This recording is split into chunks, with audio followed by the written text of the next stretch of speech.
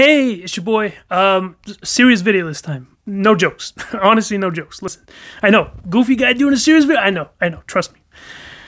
I need to get something off my chest. All right, it's something that's been eating away at me for a long time, and I'm finally brave enough. I I can't live in a lie anymore. Okay. I need to come out and get this off my chest because it's been a long time that I've been pretending. And I know, I know, some of you are going to hate me for it. And honestly, that's fine. Perfectly understandable. In fact, I hated myself for it too, but listen.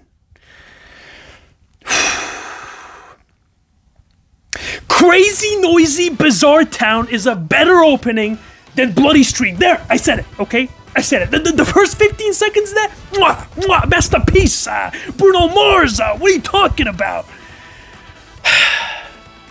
End of discussion. I won't be elaborating further.